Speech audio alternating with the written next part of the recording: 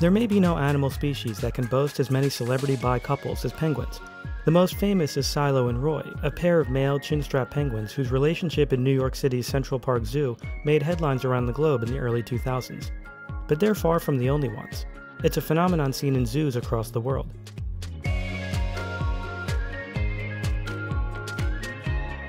In some zoos, 5% of all pairs of Humboldt penguins are same sex, and 12% of all sexual behavior occurs between males.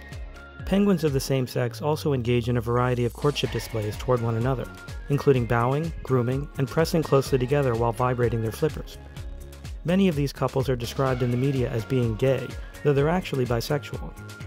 This isn't just a quirk developed in zoos. Penguins in the wild display bi behavior as well, only for a century, the evidence was hidden. The British explorer Robert Falcon Scott's Antarctic expedition in 1910 to 1913 gave his crew a front row seat to penguin behavior.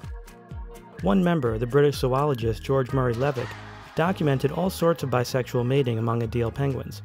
But queer penguins weren't considered respectable at the time, and the evidence was buried until a museum curator dug it up in 2012. It's an all too familiar story in animal research.